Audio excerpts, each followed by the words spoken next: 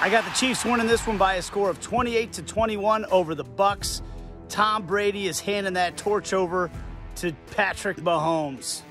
Well, there's an argument to be heard about not wanting to play a team coming off of a loss because they'll be properly motivated, especially when their quarterback is Tom Brady. But I don't think the Bucs just lost one last week. I think they were beaten by the Rams. The Bucs were outgained by 160 yards. They didn't run the ball at all, and Brady, when forced to make plays, made two picks. I think Brady will make some plays on Sunday, but I think Patrick Mahomes will make more, and the Chiefs will win 31-24.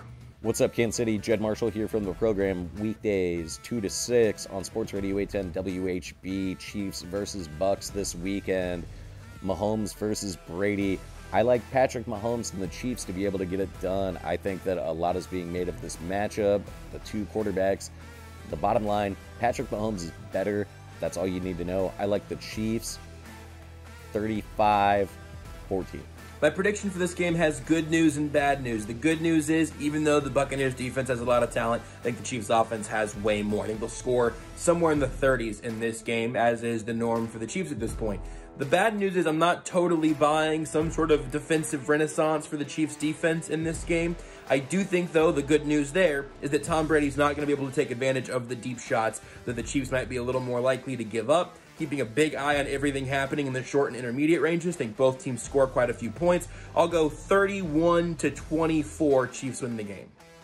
Hey everybody, it's Darren Smith from Sports Radio 810 WHB and ESPN Kansas City. This weekend, this is the matchup I've been waiting all season for. This is my Super Bowl prediction of the two teams that were going to make it, uh, the Chiefs and the Tampa Bay Buccaneers.